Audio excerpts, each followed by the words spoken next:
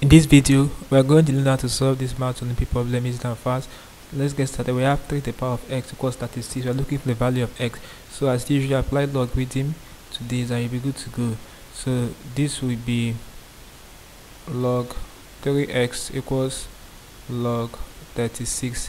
Now, from the law of logarithm, if you want to remove this power here, this x will go to the back of this log. So you now have s log 3 equals log 36 to make a formula I divide both sides by log 3 so at this juncture let's simplify the logarithmic values. So log 36 is approximately 1.5563 let me stop at 4 decimal place over. Then log 3 is approximately 0.4 771 okay so when you divide the numerator with the denominator you're going to find have the final result to be x. Will give you 3.261 thereabouts okay?